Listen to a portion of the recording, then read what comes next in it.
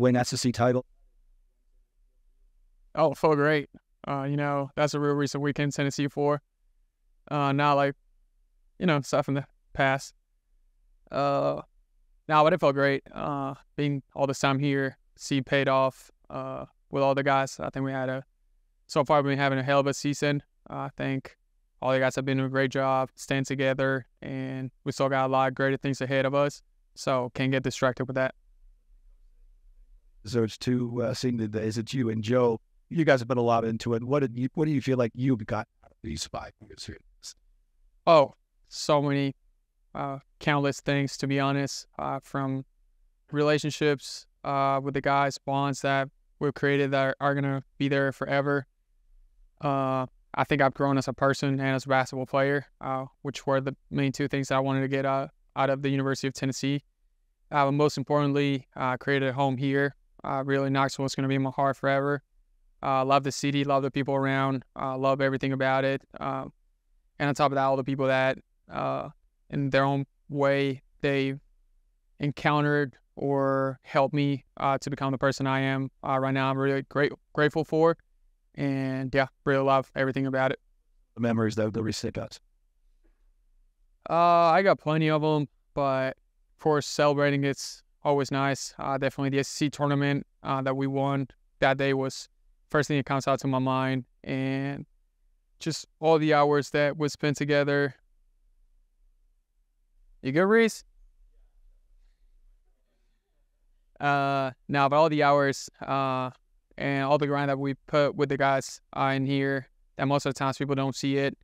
Uh, I think that's the main takeaway. All the hours that we put together and all the relationships that are going to carry over over the time of the years. What'd you learn from that first game against Kentucky? They're a really good team. Uh, they're a talented team. On the last couple games, I think it was the last four games, they put over 100 points. Uh, offensively, they're really, really good. Uh, they got some freshmen that are really explosive and really good. And yeah, we just got to be us, uh, do what we do every single day, uh, stick together, and then just have fun.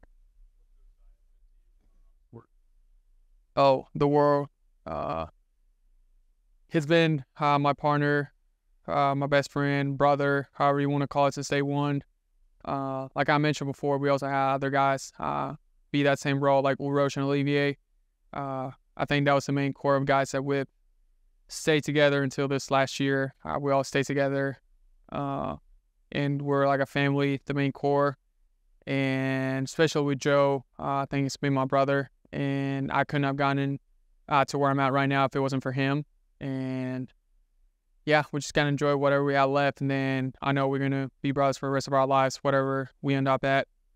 What did that hug with uh, going on in the net, the vein?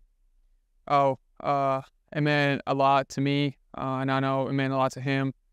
Uh, seeing those kind of situations where people come back uh, to watch us play, people that have been in the program, means a lot to us, uh, showing that support and that love. And it's been different people uh, throughout the season. Uh, in some way, they've shown their support.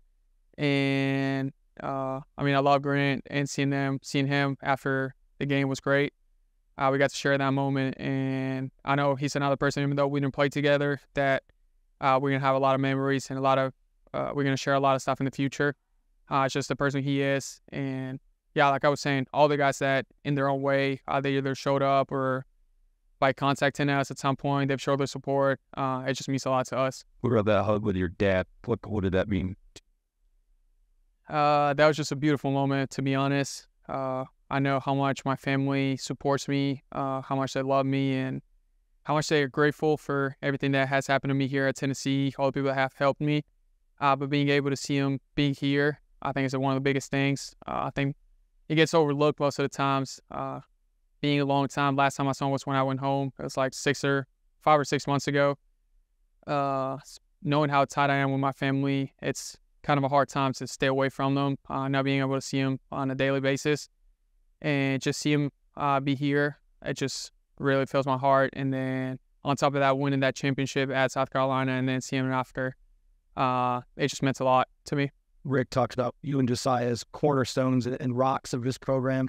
What goes into being that, and what does that mean to you? Like, being a cornerstone? I don't know what a cornerstone is, first of all, but I guess it's a good thing. Uh, but no, uh, it really means a lot. Uh, I know Joe and I have spent a lot of years here, uh, dedicated a lot of our time of our lives uh, to being a Tennessee volunteer. Uh, I wouldn't take anything back. Uh, I'm really proud of what we've done all the time we've been here. I think we've helped a lot of people, and a lot of people have helped us the same way. but yeah, like we've talked about before with Joe, I think the culture that coaches have created here is great. Uh, we have no problem with now one of our teammates ever being five years here. Uh, that talks about how good uh, coaches are recruiting and how much they know about the guys they recruit.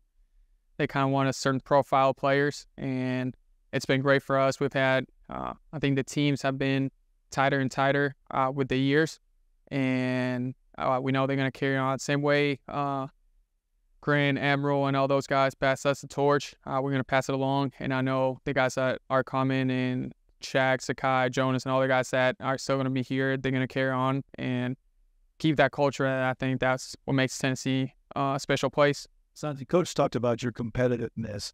Like if you were playing chess, you want to win that. Is that something you developed at an early age, or did you have to work on as, as you? No, uh, that's definitely I got from my family. Uh, if I had to say, definitely from my dad, and then both of my uncles, mom and dad side. Uh, I know they if they hear this, uh, they're gonna be proud. But they always like since I was a kid, they wouldn't let me win at anything. Uh, same with my dad. Uh, he's really, really, really competitive, and I think just growing up with that, uh, always trying to beat him, trying to beat him.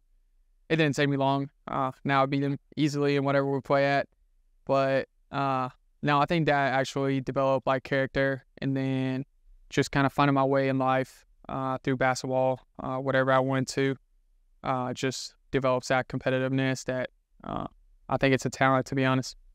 What are those memories from showing up in the middle of that season five years ago and thrown straight in for that first game? I can still remember like it was yesterday, to be honest. Uh, coming in and playing against LSU. Still remember the first play of the game fell in slow motion. Of course, turned it over, but that was kind of a welcome to reality moment. But uh, yeah, it was big moments, really, uh, making those first couple threes, uh, seeing the stadium go off. And it was an environment that I wasn't used to playing in. Uh, and it really meant a lot to me. Uh, it felt nice, felt great. And yeah, pretty much remember everything that happened since. Anything that ruined Josiah don't understand about the offense and defense at this point, it seems like YouTube well, uh, I heard an interview uh, that coach was talking about it, and we really feel that way. We've been here for five years, so uh, if you look at our play- playbook for the past five years, there's more plays that you can count, and there's some that we don't run anymore, some that we still do, or some that we bring back, and I think that's what me and Joe come into. Uh, sometimes coach would ask us like, "How do we used to run this play, whatever," and we still remember that uh, from so many years and repetition and just being a part of the program. Uh, I think we've gotten to that point where we pretty much know all the plays that we run in the past, and it's great. Uh, it's great from the perspective of we can direct from the court too, uh, telling guys where they're supposed to be, what not to, and uh, if we got to change something, of course, uh, coach was the one that's going to come up with, and we're going to talk through it, and it's just great to be in that position. Whoa, what a question. Uh, I haven't thought that far yet, but uh, I probably think that at some point in my life, I'm probably gonna be wanting to be a coach, uh, just from the love of basketball and, uh, yeah, just the way we see basketball. I think Joe will feel the same way, but uh, I think it'll be a great, great place to be at in the future, being a coach. Any favorite Rick Barnes sayings? Oh, I got countless, but uh, I just from coach, uh, regardless of like sayings and stuff, just the main messages that he's given. Uh, either if you don't play defense, you're not gonna play, or uh, just like the main message that he always gives that he wants people that give effort and then give all they have on the court. Uh, I think that's the biggest takeaway for me. Uh, coach is a great motivator. Uh, I think he makes the guys play as hard as they can, and uh, yeah, if you play as hard as you can, you give all uh, your all. You can, you can have bless you. You can do right or wrong things, but uh, as long as you play your hardest, uh, you're always going to be in a good space. Do you have any other favorite sports moments from UT that are not men's basketball related? I have a couple of them. Yeah. Uh, throwing first pitch at the baseball game was definitely fun. Uh, football definitely was. Uh, I have two games in mind. The one against Ole Miss, uh, we ended up losing, but it was a crazy game. Uh, so remember being in the stadium, couldn't even walk. So many people we had around, and then of course the Alabama game. Uh, had to be uh, had the chance to be a part of that one. Ended up on the field. Uh, as much as I thought I wasn't going to rush it, found myself on the field and watching that cold post uh, go by. Then I have plenty from other sports. Soccer, of course, the main one. Too. Uh, just going daily, uh, like sunny days and being able to sit on that mound. Uh, my girlfriend played in the soccer team, so really enjoy watching them along. Uh, uh, the season. It was really, really fun to watch him play. And yeah, I mean, many different sports too, tennis or whatever sport you want to bring up. Uh, at some point in uh, my time here, definitely watched them and supported them. And it's been a great journey. Or Bersani. Is there any chance we see the arm bite celebration? Ooh. Uh, it depends on the mood. Uh, definitely uh, something I'll be thinking about. I have it in the back of my mind, but uh, yeah, I mean, it's still there's still time to do it. Uh, so it might come out, might not. I really don't know. Did you know what the guy box was? No idea. I had to go ask one of the coaches. I was like, "Yo," he just said box of Cracker Jacks. I don't even know what that is. Is it good? Is it bad? And then they explained to me uh, what it was. Still had no idea what it was. You coach, you got to send kids to the stairs or the first one? Depends on where we at. If I ended up at Tennessee, uh, yeah, if we're downstairs in TBA, it's definitely gonna be the stairs. Up in Pratt's gonna be Versa Climber. Thank you guys.